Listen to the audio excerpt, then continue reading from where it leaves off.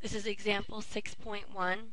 It reads, a skater is spinning at a rate of positive 700 degrees per second before decelerating at a constant rate of negative 400 degrees per second squared.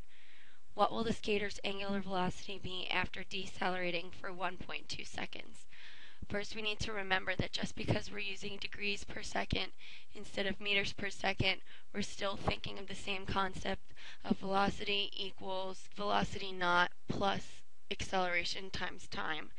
So we know that VF is equal to VI plus acceleration times time. We're going to change this to angular velocity is equal to initial angular velocity plus acceleration times time.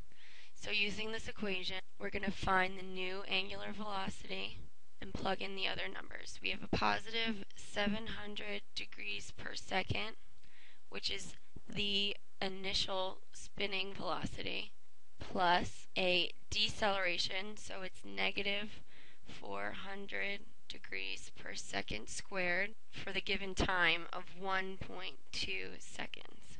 Now, once we compute this, we get a positive 200 degrees per second. That is the skater's angular velocity after decelerating for the 400 degrees per second squared for 1.2 seconds.